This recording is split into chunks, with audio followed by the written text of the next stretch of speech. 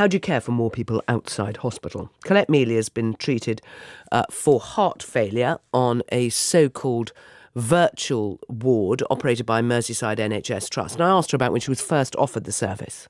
In February of last year, I was asked by one of the community nurses if I'd be interested in a new concept to the cardiac field called a virtual ward. Um, I'd never actually heard of this, to be perfectly frank, but it was um, a project uh, run by Mersey Care who in turn had a bank of nurses who were uh, we, we know as telehealth.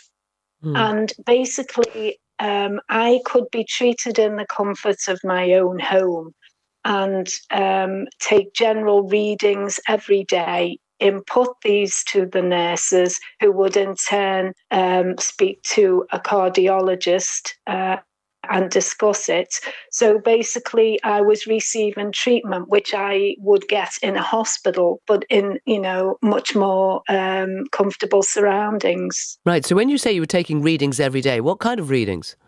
I had um, very basic equipment delivered to myself: blood pressure monitor, oximeter, uh, pedometer, thermometer, and weighing scales. And I was given training on how to use them, but generally most of them were things that you would have possibly in the house anyway. It, you know uh, they were very basic equipment. So every day i had to take um, these readings blood pressure um, you know weight etc and then i would input this um, to the nurses at telehealth um, and if there were any problems that they could foresee or they weren't happy with the readings, they would actually ring me, or vice versa. If, if I was unsure of anything, I could ring them. Um, so you had did, this this confidence initially. Yes. Sorry. Right. Well, no, I was going to ask you about that confidence. Did you feel safe? It was such um, a big difference because when you're first diagnosed with this, um, you obviously don't want to be in a hospital environment for you know obvious reasons. However, at the same time, you worry when you are at home.